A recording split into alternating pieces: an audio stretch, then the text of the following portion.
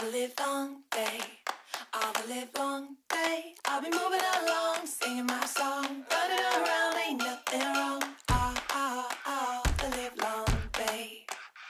I said all, all, all the live long day.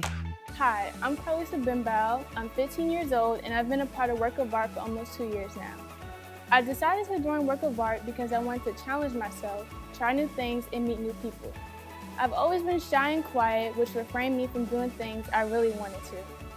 Since joining Work of Art, I've come out of my shell a bit more and have grown to be more confident. Even though I still get a bit nervous, I'm now more willing to vocalize my opinion. This is something I continue to work on every day.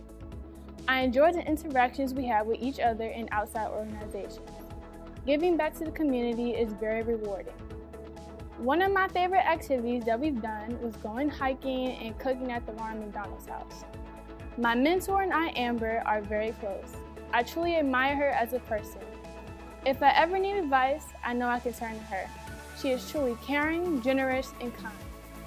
I, I am, I am a work of art. I lead by example. I inspire others. I connect with the world.